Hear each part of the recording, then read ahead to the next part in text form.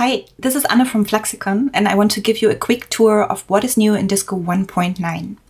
Disco 1.9 is a productivity release that will make your daily work with Disco even easier than it is right now.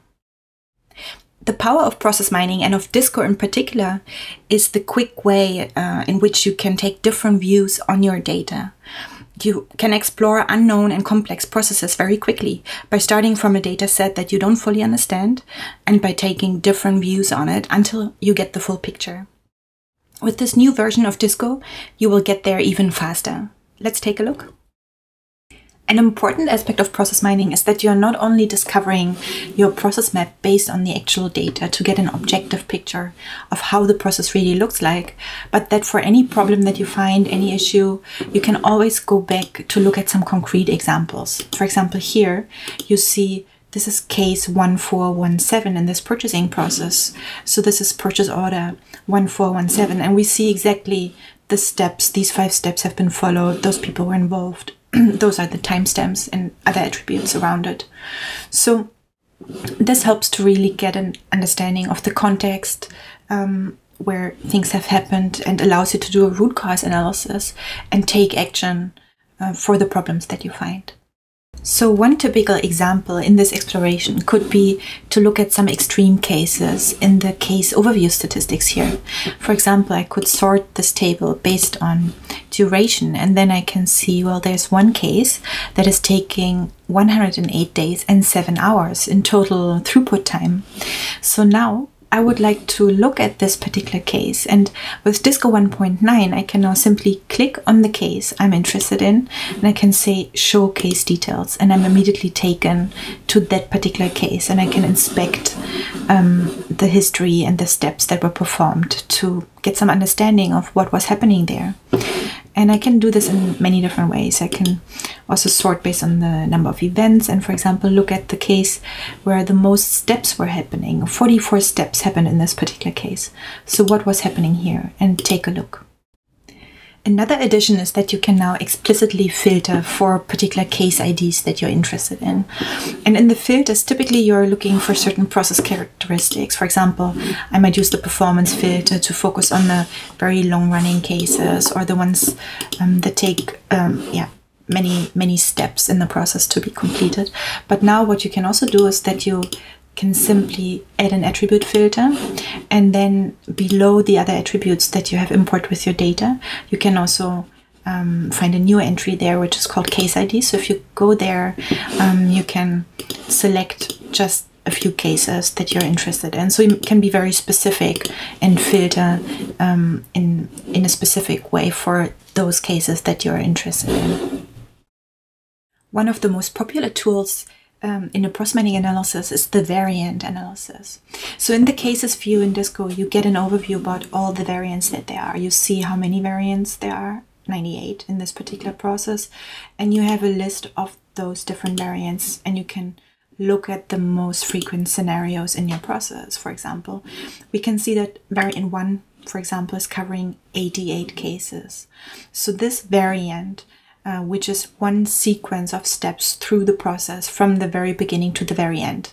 Um, that's one scenario that the process can go through, and we can see that there are 88 cases that follow exactly the same scenario and fall into that variant, and it's covering 14% um, from our whole uh, data set. So, what you have here now is in variant 1, you can see that there are 88 cases and you can explore and look at some example cases that all have the same sequence of steps. They all follow the same variant path, but they have different people involved, different timestamps, different uh, other different attributes. So what you can do is you can explore those different variants and look at the top five, top 10 variants, for example, to see what are the typical scenarios in my process. And uh, by doing that, you can already identify um, a lot of deviations from your ideal process where you realize that maybe one of the most frequent variants is not actually a variant that you that you want like this one where um, in this purchase order process the the the order process was stopped quite early which is an indication that there's some waste going on here because those cases shouldn't have been started in the first place. And you can think of ways to prevent those cases from happening and making the process more more efficient Now, um, you also have the variance statistics, um, which are here next to the cases tab. Um, so you can look at the mean and median durations for those variants, the numbers of steps that there are. And um, from that table, you can now also directly jump towards the the concrete examples for further exploration. For example, if I'm interested in variant 7 and I want to see um, some examples of that, I can now simply click on the line of variant 7 and I can say show variant details and I'm taken directly to variant 7. And in exactly the same way as we've shown before with the case analysis, you can now also directly filter for variants. Now you could already filter for variants in the previous version of Disco through the variation filter. Let's say for example we want to look at the process map just for the top five variants and we want to see how that main flow of the process looks like. We could simply add a, a filter and in this case choose the variation filter and we can focus the analysis on the mainstream behavior of those top five variants. Now if we do that then we only keep those top five variants in the filter dataset and our process map looks much simpler than was looking before. But um, what you um, what you realize is that once you start looking at those variants, and I'll remove the filter again here, is that often you want to be more specific and you actually identify the scenarios that are good or bad and that are showing the intended process behavior and the ones that are not so ideal. So it can happen that you say, well, variant one is um, is a good variant that I'm expecting variant two, but variant three, um, that's not reflecting my um, my intended process, but variant four and five are. So I want to show um, and look at the process uh, based on variant one, two, and four and five, but not include variant three. So that wasn't possible in the previous version of Disco, but you can do that now by adding an explicit attribute um, filter where you filter for the for the variant itself. So I can also here choose um, the new variant entry, which is at the very bottom below all the other attributes. And then I get a list of the variants and I can, for example, explicitly select those four variants that I want and not include the variant 3, which I don't want to see. One of the great sources of productivity in Disco are the filter shortcuts. Now you have already um, a number of filter shortcuts, especially from the process map. For example, if I look at this customer service refund process here, then I can see that some of those have been cancelled and maybe those where the cancellation was involved, that's a different scenario for me. I want to focus in on that and I want to further analyze it. So all I have to do is I can click on this activity and I can say filter this activity, which automatically pre-configures a filter in the right settings. And I, all I have to do is to apply the filter. Um, can also make a copy to keep this um, as a bookmark for further analysis. So once I've done that, I have now focused in on all the cases where a cancellation occurs and I can see in much more detail what's happening before and what's perhaps leading to that cancellation. And in the same way, you have shortcuts for particular particular path in the process. For example, you can click on this arrow uh, if you want to see, you know, this one particular case that directly went from order created to shipment. Um, and then you have the same shortcut here. Um, and also you can do it based on those start points. So um, we can click on any of those dashed lines to add a, a start um, or endpoint filter to focus in on all cases that start there. But um, with the new version of Disco you get new uh, possibilities to add filter shortcuts, which makes your daily work even more efficient. And one scenario to explain uh, what is new is to go to the statistics tab and to look at some of those channels that these um, customer service refunds can come through. So we have three different channels. Um, one of them is the internet when customers fill in a form. Um, themselves and then this starts the refund process. People can call in through the call center or they can go back to the dealer, the shop where they bought that product that they want to return. Now, um, one thing you want to do in such a scenario is you want to look at the processes for those different um, channels because they will be different and look quite yeah different will have different KPIs attached to it and so forth. So for example, if we wanted to filter the process for the internet channel, what we had to do before is we had to add a filter, go to the attribute filter, choose the right channel, uh, the right attribute, which is the channel attribute, and then we could say, okay, we want to focus on the internet channel, and we could um, apply the filter, and then we get our process just based now on those orders that came in through the internet channel. But with the new version of Disco, this becomes much easier. So if we go back um, to where we started and we say we want to focus on the internet channel, uh, we can simply right click right here from the statistics, and then we can say filter for internet. So that's the, the channel value you want to filter for. And then you're taken right to the attribute filter with the right attribute selected, the right configuration settings. So all you have to do is to uh, apply the filter and you're there. So that's um, that's a great way um, to further improve your workflow and to quickly focus in on, on other aspects, um, on all the different aspects of the process that you want to look at.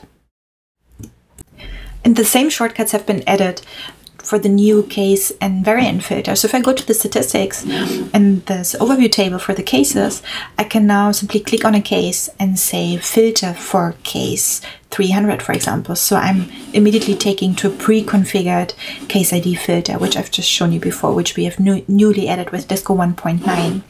And with variants, it's the same. So we have now this explicit variant filter and I can simply click on any particular variant that I'm interested in and I can directly jump to pre-configured filter that way. There's even a faster way to explore certain example cases than filter shortcuts, which is searching. Disco features a full text live search through the search window here in the upper right corner. So if I'm interested in seeing some cases where something, for example, some payment activity happens, I can start typing and while I'm typing, Disco is updating the search and just looking through the whole data set and showing you all the cases that match and it's highlighting um, the areas where it either found a matching attribute or a matching activity name or a matching person, whatever you're looking for. So this is a great way to just zoom in on some examples and look at the context, what's happening before and after something specific that you're interested in. Now with Disco 1.9, you get a new a search sort uh, search shortcut as well, where if you go to the statistics um, tab, you have all the different statistics for the different attributes that you've imported. And let's say, for example, we are looking at the activity statistics and we see, well, this particular activity, it takes relatively long compared to the others on average, um, but it doesn't occur very frequently. So we, we're curious and we just want to see some examples of that. Now, previously, what you had to do is you would have to click on the activity, say copy um, the, the content of the cell, go to the cases tab, uh, and then there paste the, the search value um, that you want to look for. Now with Disco 1.9 this is much easier because you have the search shortcut. You simply click on the activity that you're interested in and then you can say search and you're directly going there and Disco fills in um, the search term, goes to the cases tab, shows you the result. And this works for any attribute, any other attribute value, not just activities. And you can also use it um, in, a, in an interactive way. So while you're exploring this, you might see other things that are interesting. You see some other dispute activities, or let's say I'm interested in this settling activity, so I can simply click on here and say search. And now the search is adapting. And I'm looking at certain examples. And then I'm searching for something else. So this is a very efficient way to simply explore the process based on some keywords, based on some specific activities or attributes, and to look at examples um, to understand the context where this is happening. When you complete your analysis, you often want to export the results to put them in a report or to prepare a presentation that summarizes your findings. And you can already export all the results that you get with Disco. For example, you can export the process map um, through the process map exports in different formats, for example, as a, as a PDF a vector, a graphic, or you can export all the statistics. For example, I can export the charts by right-clicking on the image, and I can export uh, any table um, from the statistics screen by right-clicking on it and saying exporting to CSV. Now, um, because people really like the variant analysis and um, they are such a powerful tool to look at the different scenarios, um, there are more ways that you can now export the variance analysis compared to before. So previously you could export the variance statistics that you're looking at here. And uh, if I do that, then I can export this table, I can save it on the desktop, and it's exported as a CSV file that you can, for example, open in Excel um, and show to other people. And then what you see is that you get um, all the variant information, but also actually all the steps um, that are occurring. Um, so you can share this um, with your colleagues and uh, you can show them which of the variants, which of the scenarios are good and bad, and which ones are, are occurring, um, how frequently, and how long they take. In addition to exporting the analysis results, you sometimes also want to export the raw data to do further analysis in other tools like statistics tools or data mining tools. And you can now export the variant information with DISCO 1.9 along with the raw data in two different ways. First of all, in the case statistics, you have the variant information included here with this additional column. So if you export your case statistics, you get the case summary information uh, in the exported CSV file along with the variant correlation.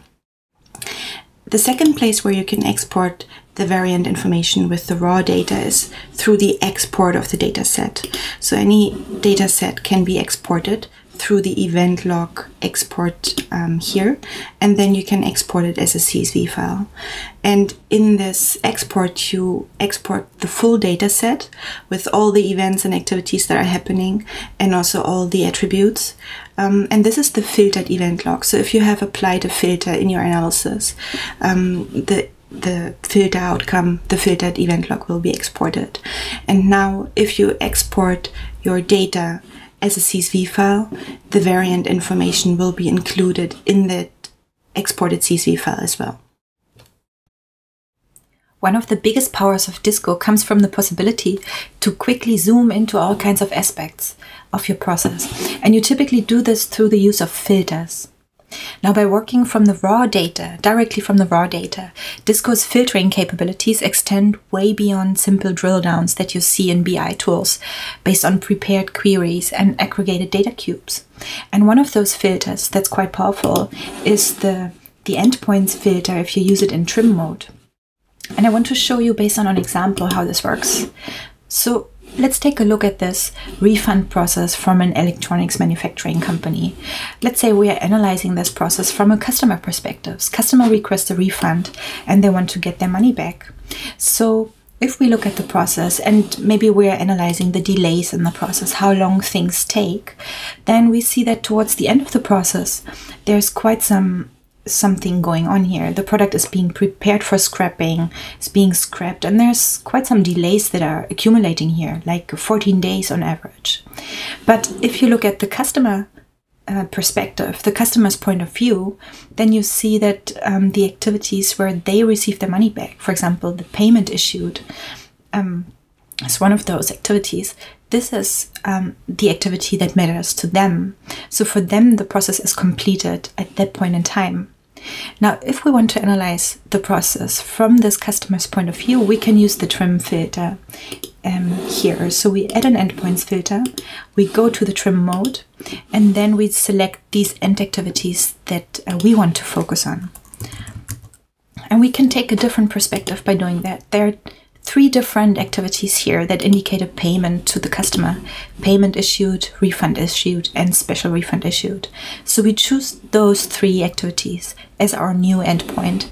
And then once we apply the filter, we can see that our process map has adapted. We see those endpoints um, are shown now at the as the actual endpoints in our process, and everything that happened afterwards has been cut off uh, from the process. And this means that in our analysis, we can now focus on the process from the perspective um, that the, matters to the customer, but also all these other statistics that we have, like the case duration, um, the variance, everything is now being analyzed until that point in time uh, when the customer has received their money back.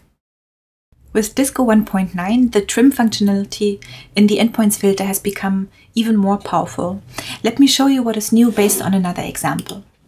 Um, let's look at this purchasing process where we have a lot of repetitions going on. So there are amendments that are being made, changes to existing requests, and we can see one amendment activity here on the left side and another one here on the right side. Now, there are even multiple amendments that are being made within a single case. For example, if we look at the maximum number of repetitions, we can see that there's up to 12 changes, up to 12 amendments that are being made to a single case. Now, let's say that we want to focus on the, the starting area of this process. So the beginning um, from create purchase requisition until the area where the amendments are being made. And we want to focus on that segment on the process to analyze it in more detail. Now, if we look at some of the example cases, we can search, for example, um, for these amendment activities that are taking place. place. So here you can see the highlighting of amend request for quotation and another one. And we see that um, this case, for example, has two amendment activities. And there are some that are having even more. For example, here you have one with three amendments that took place. Now, if you apply the trim filter, um, then you can um, ask yourself what the segment is that you want to focus on. In some situations, you want to focus on the shortest segment from the beginning. Um, so in this case, from create purchase requisition until the first amendment um, takes place. Uh, and in other situations, you want to include all of those amendments in the segmented process. So then you would like to cut off the process after the last amendment activity takes place.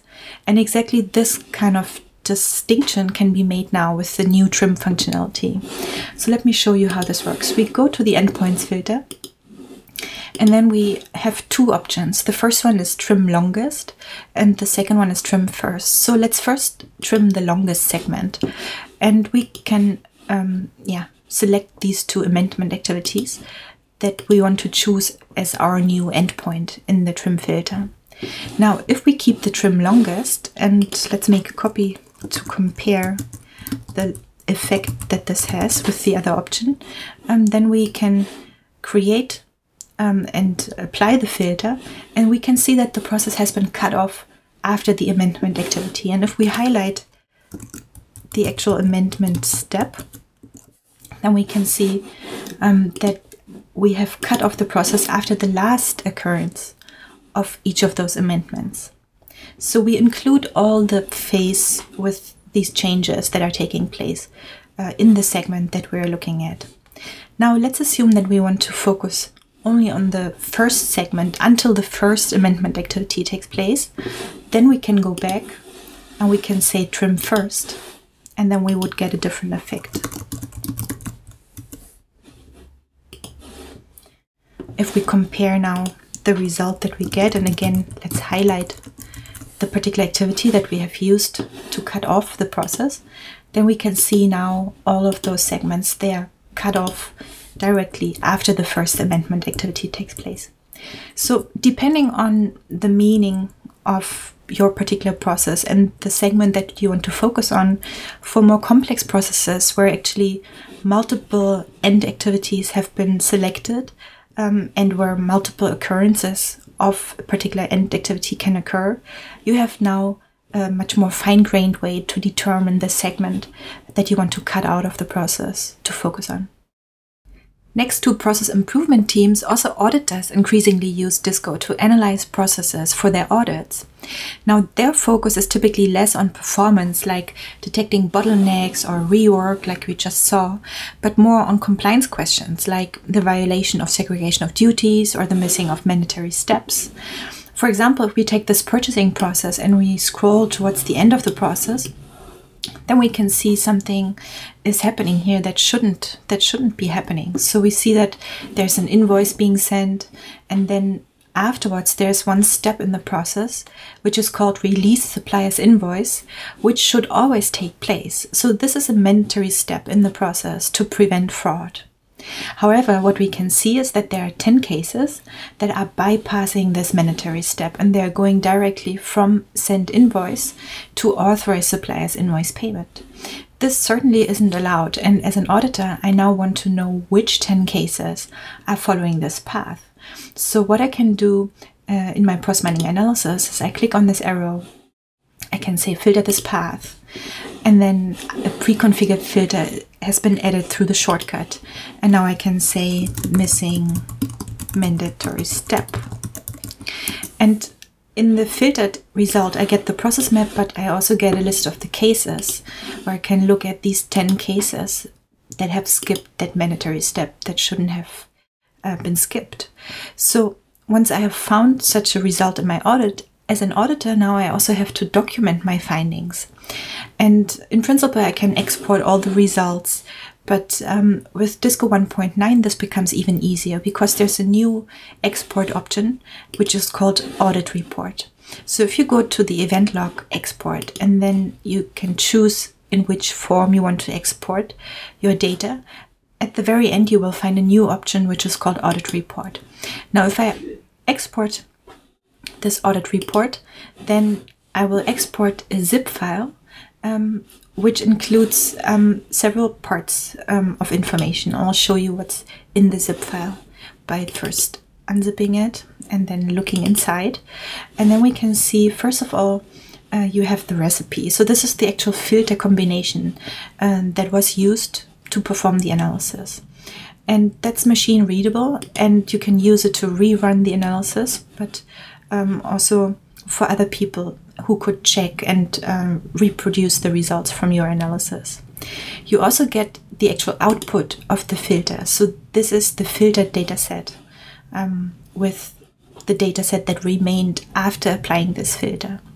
And then in addition, you also now get a human readable filter report. So if I double click this, then you can see that um, there's a report which includes information about the amount of data that was in the dataset, um, before filtering and then which filter was applied with the exact configuration and then the outcome of the filter.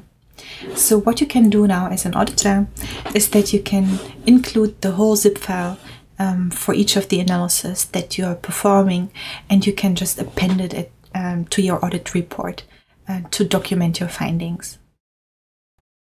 Another improvement that we have made specifically for auditors is that auditors often also need to document results for compliance rules that were not violated. So for example, let's go back to the purchasing process from before. And then we can see that there are these two activities, send invoice and release suppliers invoice. Now we know already that this particular activity is mandatory and that it's not allowed to skip it. But in fact, there's an additional rule that says that send invoice and release suppliers invoice should not be performed by the same person. So the four eyes principle should apply, and it's also called a segregation of duty rule. Now, with process mining, we can check such a segregation of duty rule very easily. In this case, we can simply use the, the shortcut here to directly get to a follower filter. But we can um, yeah, configure any combination of activities that we want to check such a rule for. And then below um, these two activities, uh, we can um, include another dimension. And in this case, uh, this the second dimension that we would include is the person performing that particular step. And if a segregation of duty rule holds and is followed, then different people should perform um, these two steps above. But if we want to find out whether this rule was um, violated at some point in time, then we will check whether it actually happens that um, the same person is performing um, these two activities for the same case. So in theory, this shouldn't uh, happen, and if the rule is violated, we will get all the violations in the filter result. So let's apply the filter and see what comes out. Well, in this case, we get an empty filter result, and in this particular situation, that's a good outcome because this means that our segregation of duty rule was in fact never violated. So always different people performed those steps for the same case. Now, that's a good outcome, but at the same time, we still have to document the result for our audit report. And um, we could take a screenshot, we could export the recipe, but again, that's not ideal and a lot of manual work. So uh, with Disco 1.9, you can now directly save the audit report also from the empty filter result here. So you can simply press this button and you can export the audit result um, with the human readable filter summary um, the recipe and the, the outcome dataset right from this dialog. The last two enhancements that I want to show you are to the process map. And the first one is that we created a thousand separator for all the, the frequency metrics. And this is something um, that is particularly important if you're analyzing high volume processes. Disco is highly optimized to analyze large data sets really quickly, and you can have many, many millions of records in your data that you're importing and analyzing with Disco. Now, if you import such a large data set with uh, lots of millions of cases and uh, and activities, then it quite quickly becomes um, a little bit difficult to count the number of zeros or the um, basically to understand what kind of number you're looking at. So this is a rather small data set with just 1,000 uh, cases here, but you can see the thousand separator um, being inserted here in the frequency metric. Now, the second enhancement um, is particularly useful for you if you're rerunning analysis um, frequently. For example, let's say you have a consulting project uh, for a particular customer, and then certain improvements are being made based on the recommendations that you've given. Then often you want to rerun the analysis sometime later and to compare um, the outcomes of the improved process and to see how effective those changes really were.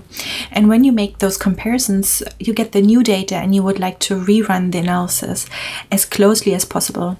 You can use the, the recipes um, to re-establish the, the filter settings of before. Um, and then also when you look at the process map, you often want to look at the same level of detail again. So, for example, if in the previous analysis you had looked at the process at 20% detail level for the path, then um, rerunning the analysis, you're trying to get it back to the same percentage. And that's not always exactly possible because maybe you don't get it exactly to 20%, but it uh, goes to 19.9 or 20.1. But also, um, you want to do it in a more deliberate uh, manner. So now with Disco 1.9, you can simply click on the percentage and you can exactly uh, input the percentage that you want um, for the level of detail of the activities and the path sliders. This concludes our tour of what is new in Disco 1.9. We hope you like it and we certainly think you will be even more productive working with Disco on a daily basis with this new version. If you're using Disco uh, with an internet connection, then the new software update will be automatically downloaded and installed the next time that you start Disco. If you're working in an offline environment, you can Um, manually download and install the new version from our website. Thanks for watching.